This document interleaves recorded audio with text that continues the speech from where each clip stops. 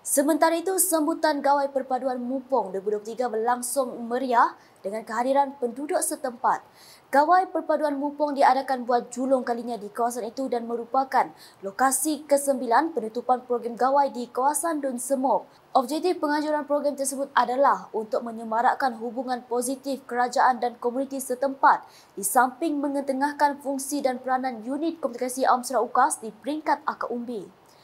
Selain itu, sebanyak 8 pameran daripada pelbagai agensi kerajaan merangkumi Unit Hal Ehwal Agama Agama Lain Unifor, Perbadanan Kemajuan Perusahaan Kayu Serawak Pusaka, Jabatan Kebajikan Masyarakat JKM Meradong, Balai Bomba dan Penyelamat Serikir, Kolej Komuniti, Jabatan Wanita dan Keluarga, termasuk Puan Suli, Produk Kecantikan Usahawan dan pameran dari UKAS sendiri.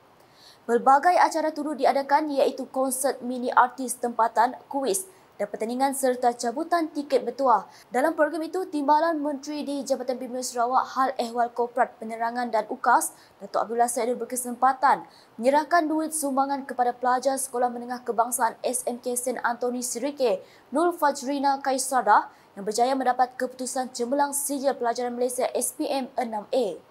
Manakala wartawan UKAS berkesempatan menemu ramah beberapa penduduk setempat mengenai perasaan dan harapan mereka dalam sambutan gawai perpaduan ini. Uh, terima kasih GWB adalah Datuk Abdullah Haji Sadu. Aku dah nganjur ke program baka program uh, gawai perpaduan di Mupun itu lebih lagi baka pengabaian keutamanya Datuk Douglas Unggah ngau sa ukas dengan jawab program kato kami saya gagam nanti harap ke program kato ah uliah. Dadu ke baru waktu satu kena ngempung bala uh, tetua rumah ngau dah kuasa maju ke mansam noa.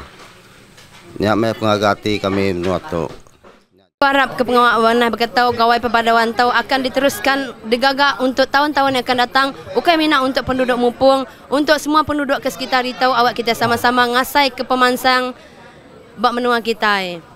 Okay, terima kasih HGYB pemansang kuda berik yang lama tahu pakai jalai.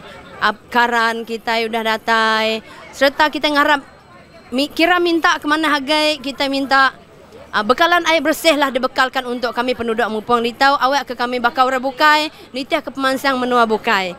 Terima kasih.